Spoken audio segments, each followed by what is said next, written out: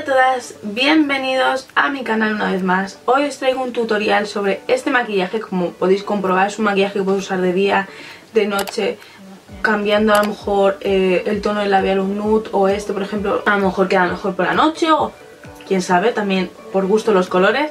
Así que vamos a comenzar.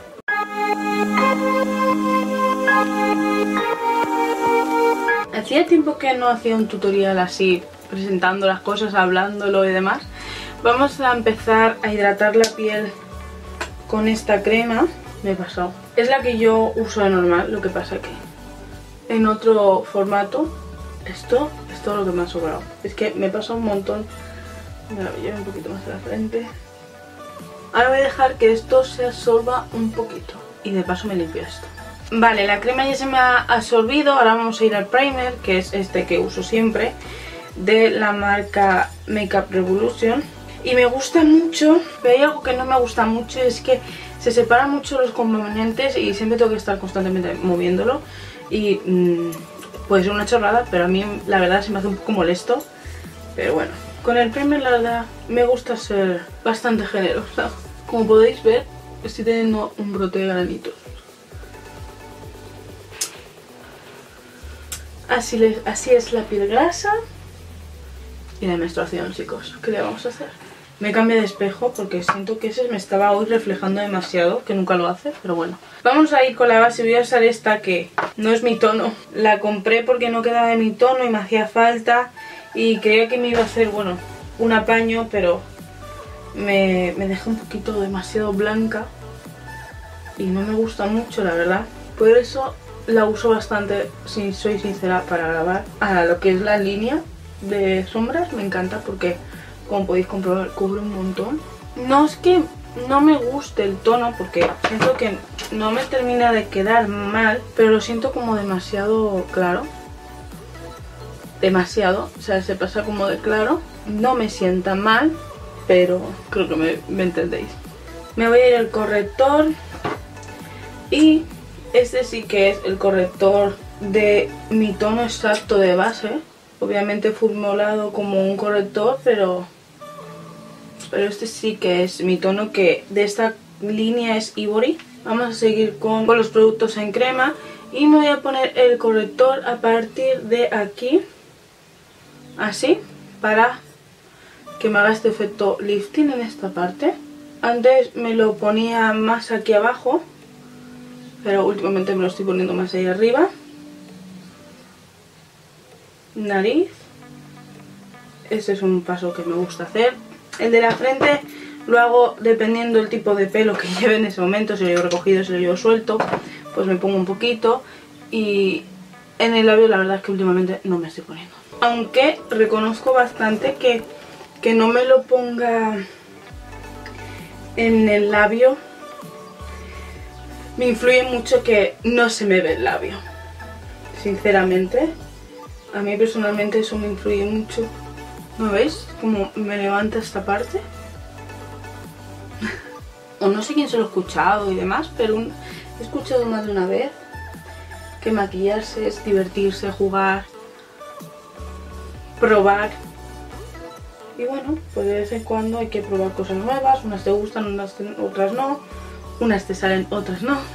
Creo que lo importante del maquillaje es que te guste y te haga sentir bien. Colorete líquido, rubor líquido, como queréis llamarlo. Eh, la primera vez que lo probé recuerdo que fue un fail total, no me gustó nada.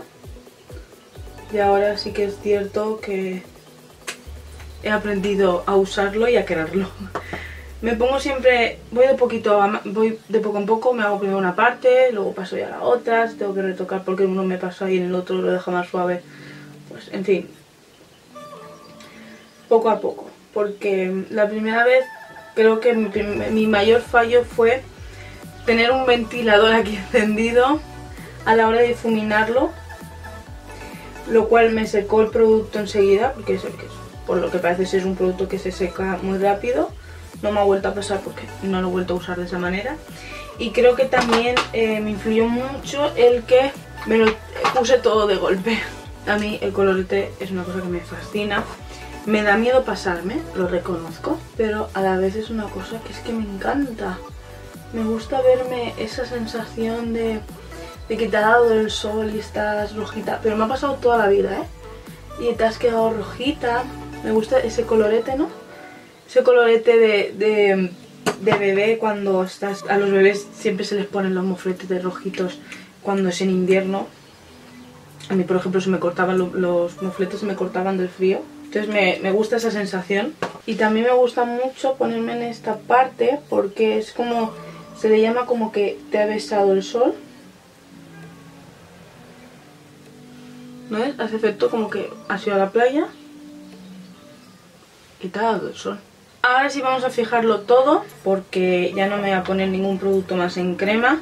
Esto hay gente que ya pues no, lo, no le gusta hacerlo, pero a mí sí que me gusta esta parte hacerla aún porque la tengo muy grasa y siento que es la, la, manera en la que mejor se me fija. Entonces yo me lo dejo un poquito ahí.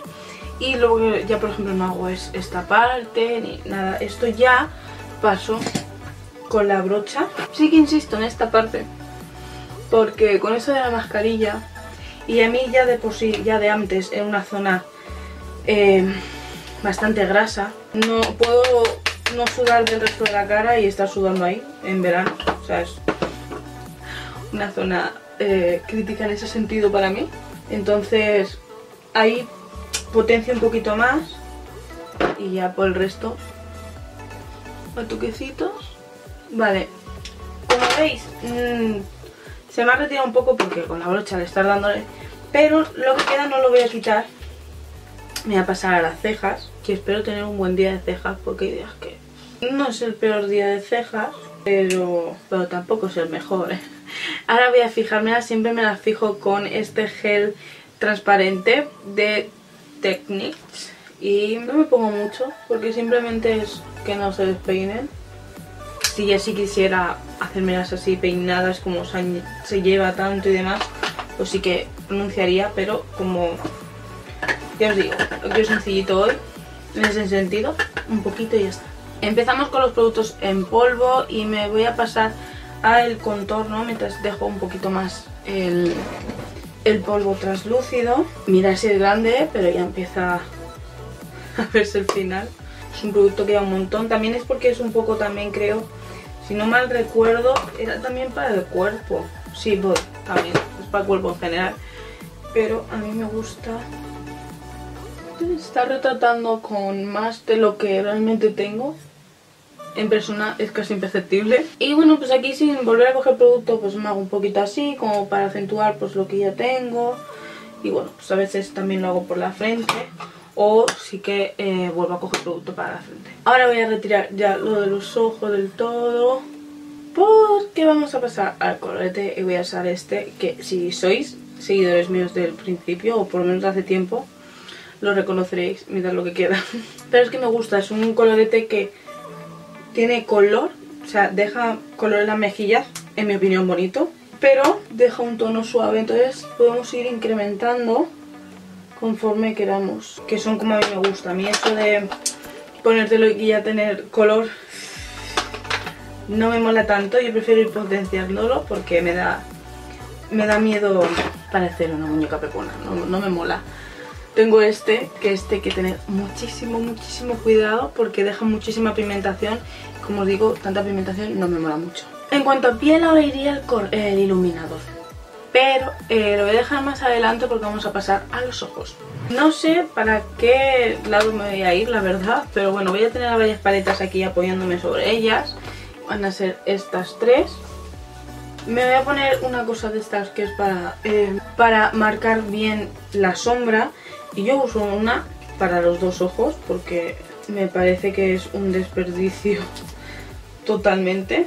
Entonces yo uso una para dos yo lo hago más diagonal, pero el otro día vi a una drag que hicieron en Vogue un vídeo de cómo se maquillaba. Es Carmen Farala, que es la ganadora de Drag Race España.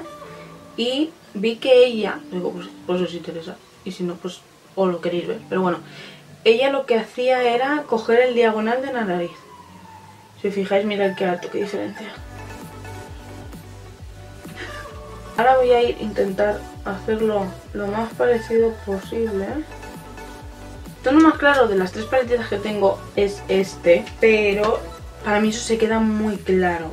Y me voy a ir a este, aunque creo que será mi tono de piel, pero me voy a ir más a lo seguro. Y efectivamente pues es totalmente mi tono. Da un poquito, pero casi inexistente. Me voy a ir aquí, que este sí que es más oscuro. Y con este... Vale, ahora que ya tengo este tono clarito, porque me gusta empezar con el claro, eh, manía, sí, puede ser, pero me gusta. Vamos a ir a empezar a, con los oscuros. Voy a ir con este negro, con esta brochita que es súper pequeña.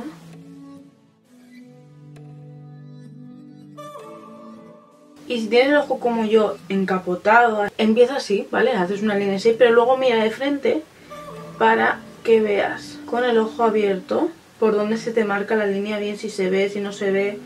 Esto es importante, ¿eh? Si no, no sabes por dónde estás marcando. Imaginar que lo haces con el ojo cerrado y cuando quieres llegar ahí no sabes eh, si se va a ver con el ojo abierto. Ahora con una brocha de difuminar os vais a ir con este marrón oscuro y lo difumináis hacia arriba. Poquito a poco, ¿eh?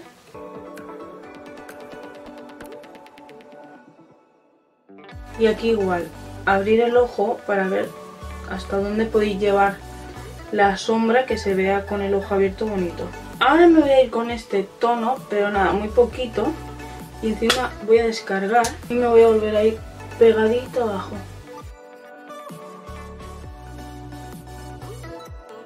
Este iluminador vamos a ir con una brocha, una brocha plana y solo en la parte clarita vamos a coger y lo vamos a aplicar en toda esta parte.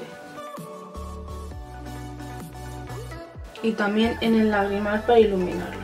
Ahora ya me voy a quitar esto. Me voy a ir con este marrón, que es más clarito, si os fijáis que este, que es el que hemos estado usando para difuminar todo. Qué miedo. Ahora voy a coger el negro. Y voy a unirlo con el negro de arriba. Y en el otro lado vamos a hacer lo mismo. Voy a terminar la piel primero y me voy a ir con el mismo iluminador que hemos hecho... ¿Dónde tengo la brocha? con el mismo que hemos hecho la parte interior del ojo, pero me voy a ir con todo porque me, gusta todo y voy a colgar. Primero aquí y luego ya subimos. Pero aquí es donde tenemos que acentuar. Vamos a probar este pintalabios que la verdad que me encanta el color pero uso poco. Es en el tono Velvet, es un lip gloss, por lo menos se llama así. Lip Ghost es el nombre de la línea. Es de la marca PAs y es un lipstick normal, no pone mate ni nada. Si no me recuerdo no era muy, mate. Vamos a ver qué tal queda con el look o si no me lo cambio. No es mate. de estos cremositos que últimamente agradezco los labios, la verdad mí sí me gusta. Muy en el tono. Pues este es el resultado final. Sinceramente, no le he puesto al final pestañas postizas porque quería que veráis el efecto que hace sin pestañas postizas porque no solemos llevar pestañas postizas eh, de normal, es algo que muy poca gente hace, suele hacerlo más las celebrities, pero para que veáis cómo queda con unas pestañas normales, con rímel normal que también queda bonito, obviamente no abre la mirada igual, pero se puede, queda bonito. Obviamente si quieres ponerte pestañas postizas, pues mejor que mejor, se va a ver también muy bonito y muy guay. Así que bueno, nada, este es el maquillaje.